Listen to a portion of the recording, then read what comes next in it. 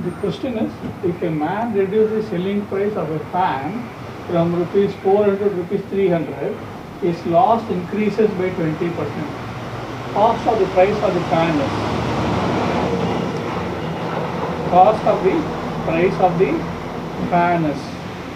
This is a very simple question, quantitative aptitude on cost price, selling price, profit and loss. Cost price, selling price, profit and loss.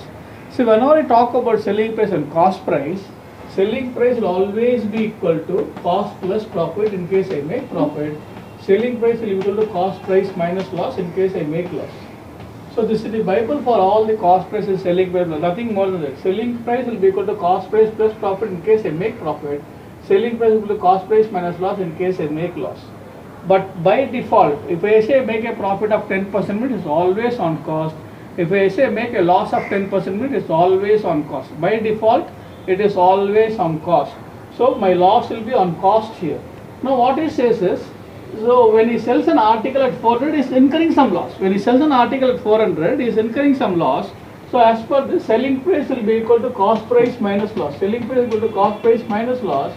Now when he is selling at 400, some loss is being incurred which is not known. So will be CP minus loss.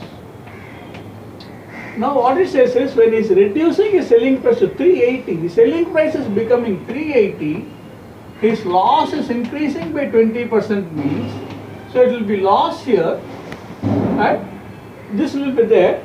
His loss is further reducing, or further increasing, his loss is further increasing or the selling price has got reduced, his loss has increased by 20% means minus 20 by 100 of loss. Minus 20 by 100 of loss because the loss is this amount, on that is increasing by 20%, so loss will be 20 by 100 of loss.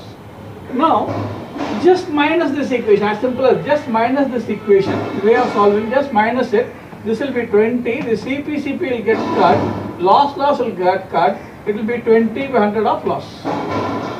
Or, loss will be equal to 100. This 20 will get cut, loss will be equal to 100. Once you get loss as 100, substitute it here, 400 will be equal to CP minus 100 or CP will be equal to 500. As simple as this. CP will be equal to 500. Actually, this is a oral problem. Actually, this is a oral problem. If I say my loss is increasing by 20% by reducing 20 means 20 will be equal to 20% of loss. I come to this just by oral. 20 will be equal to 20% of loss. Loss will be equal to 100 plus 4 will be 500. As simple as this. Subscribe to my channel. I will be adding questions every now and then.